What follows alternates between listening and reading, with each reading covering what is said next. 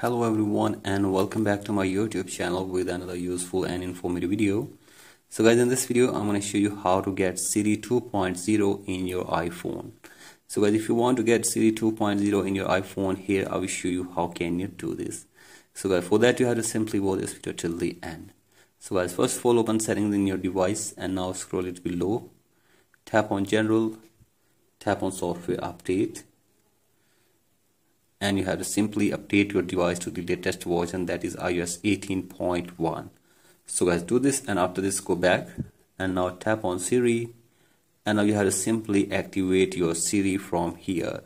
So as once you activate your Siri from here then the Siri 2.0 will also be activated on your iPhone so guys you have to simply update your device to the latest version that is iOS 18 and after this Siri 2.0 will also be updated in your device and you have to make it sure that you are using iPhone 14 Pro Max or the later or latest devices. So guys if you are not using the latest iPhone devices then you will not be able to get Siri 2.0 in your device as well.